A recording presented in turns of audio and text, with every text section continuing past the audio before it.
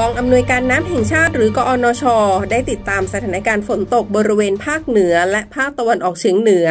ในช่วงวันที่ 19 ถึง 20 สิงหาคม 2565 พบว่าในหลายพื้นที่มีปริมาณฝนตกหนักถึงหนักมากสะสมมากกว่า 150 มิลลิเมตร กอนช ได้ประเมินคาดการปริมาณฝนตกในช่วงวันที่ 20 ถึง 22 สิงหาคม 2565 จะมีฝนตกอยู่ในเกณฑ์ 90 มิลลิเมตร และคาดการสถานการณ์น้ำในลำน้ำมีแนวโน้มเพิ่มขึ้นประมาณ 50 เซนติเมตรถึง 1 เมตร จึงขอให้เฝ้าระวังระดับน้ำล้นตลิ่ง บริเวณแม่น้ำสายหลัก และลำน้ำสาขา ไหลหลากเข้าท่วมขังในพื้นที่ลุ่มต่ำเกษตรกรรม พื้นที่ลุ่มต่ำริมลำน้ำและพื้นที่ชุมชน ในช่วงวันที่ 22-25 สิงหาคม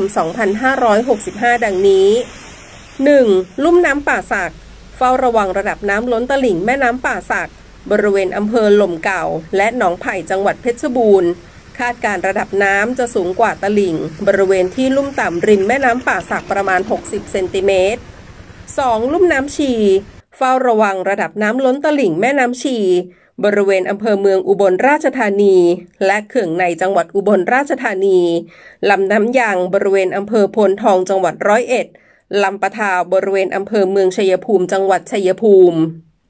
3. ลุ่มน้ำมูล เฝ้าระวังระดับน้ำล้นตลิ่ง แม่น้ำมูล บริเวณอำเภอเมืองอุบลราชธานี พิบูลมังสาหาร วารินชำราบ และสว่างวีระวงจังหวัดอุบลราชธานีลำเซบกบริเวณอำเภอม่วง 30 ดอนมดแดง และตาลสุมจังหวัดอุบลราชธานี